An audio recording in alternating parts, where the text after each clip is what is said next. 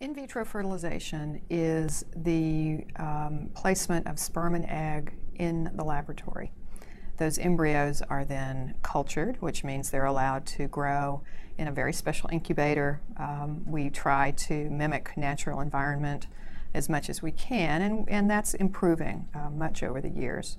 Uh, the embryo starts as a single cell once fertilization has happened, and that single cell, after the chromosomes from the sperm fuse with the chromosomes from the egg, that single cell divides into two cells, and then each of those cells divide into four cells, again to eight cells, and that's usually after the embryo has been in the laboratory for about three days. At the eight cell stage, each cell is identical to every other cell.